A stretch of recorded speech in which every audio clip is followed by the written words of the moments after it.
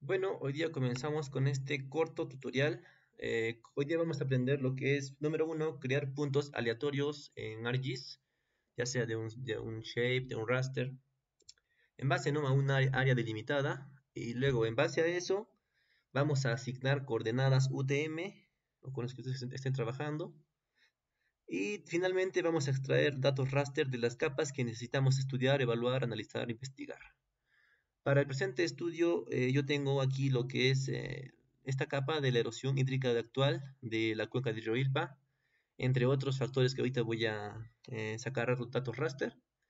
Y para calcular el número de puntos o la muestra para mi prueba de hipótesis, lo que yo tengo que hacer es aplicar una fórmula. En este caso, estoy aplicando el muestreo aleatorio simple en base a una población finita y, una variable cuantitativa, por lo cual, eh, si quieren eso en otro video les muestro cómo se hace la fórmula. Yo para, para, este efecto de este ejemplo, me sale que mi número de puntos o muestras tiene que ser 384. Así que, comencemos con el paso 1. Vamos a ArtToolBooks, vamos a Data Management Tools, vamos a Sampling, y donde dice aquí create random points, crear puntos random, doble clic y tenemos que elegir, ¿no? ¿Dónde queremos que salga? A ver, vamos a buscar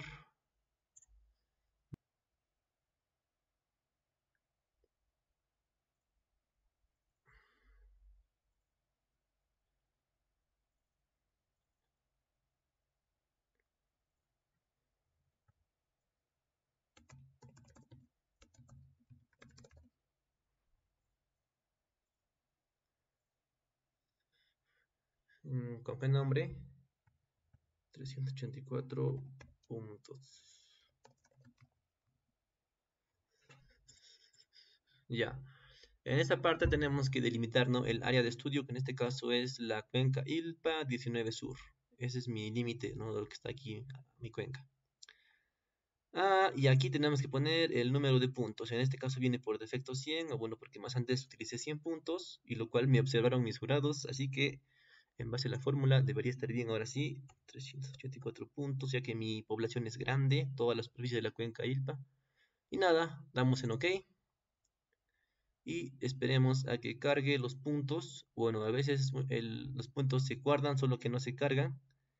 En ese caso vamos a buscarlos. Ok, aquí apareció ya, genial. Y bien, ya tengo aquí mis puntos. Número 2, vamos a observar esos puntos, a ver dónde están. Aquí están. Abrimos tabla de atributos. Y vemos, ¿no? Eh, se crean los puntos, pero no tenemos más información. Únicamente los puntos y ya. En este caso queremos asignarle coordenadas X y Y. Para lo cual vamos a ArtToolbox, de nuevo a Data Management Tools.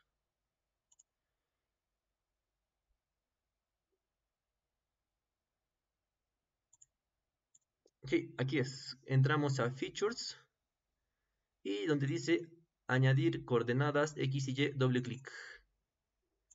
Seleccionamos la capa de puntos que acabamos de crear, únicamente OK.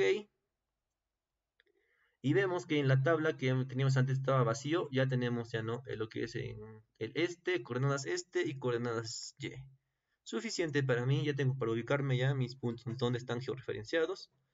Ahora sí, la parte 3 que es eh, extraer datos, ¿no? Para lo cual, vamos de nuevo a ArtToolBooks, cerramos Data Management Tools, nos dirigimos a Spatial Analysis Tools, ¿dónde está? Aquí está, Spatial Analysis Tools. Ah, vamos a buscar lo que es eh, Extraction, ¿dónde estás? Aquí, Extraction. Y donde dice Extract Multi-Value Points, ahí doble clic. Y bien, ¿no? Seleccionamos los puntos en donde dice Input Point Features y las capas raster que queremos, de, las capas que queremos nos extraer esos datos para mis muestras. Yo tengo eh, cuatro objetivos básicos, ¿no?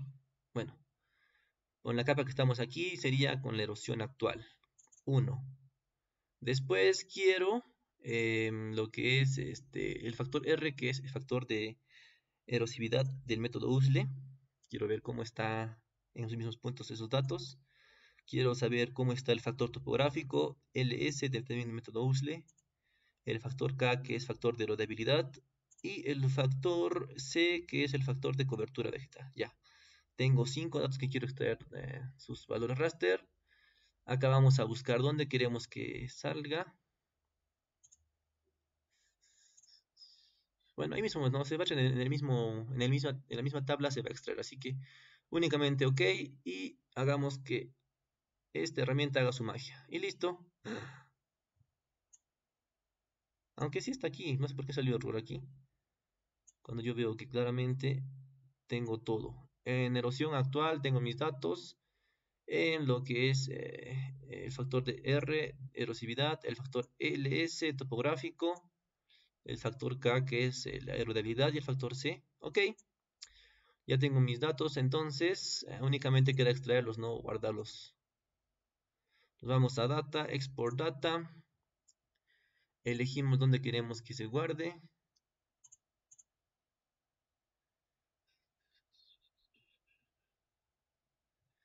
¿Dónde estaba más antes? Tengo tantos archivos que me pierdo. Ya, estaba en el número... Aquí creo que estaba. Puntos aleatorios. Ya, export out. Shapefile. Sí, está bien Shapefile. Ok. Ya está guardado. Y bueno, ¿no? ¿Qué más? Yo quiero ahora, este esto quiero analizarlo en un cuadro Excel. ¿Qué es lo que hago? Tengo que todo seleccionarlo. Aquí es. Entramos aquí en, la primera, el primer ítem. Seleccionar todo. Ya está. Copiar selección. Vamos a lo que es una tabla de Excel.